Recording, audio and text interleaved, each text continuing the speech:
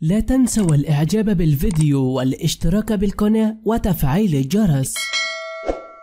شاهد الفيديو عمرو دياب يصفع شابا بالقلم ووالد الشاب ينفعل. إحنا صعايدة وهناخد حقنا. ومش هنسيب عمرو دياب.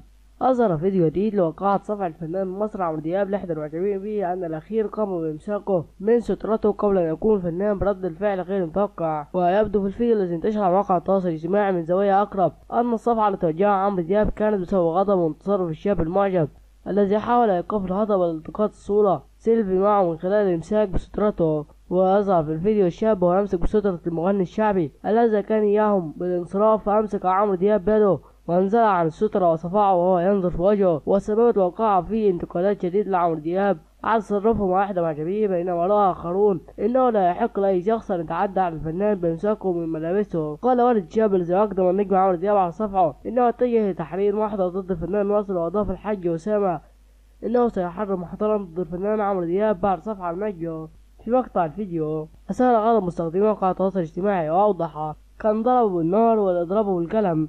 إحنا ناس صعايدة وهناخد حقنا بالقانون. وهعمل محضر دلوقتي في عمرو دياب وكشف والد الشاب ان ابنه قد أصيب بحالة صدمة. ويرفض الحديث أو التواصل مع قريبه بعد انتشار الفيديو على مختلف منصات التواصل الاجتماعي.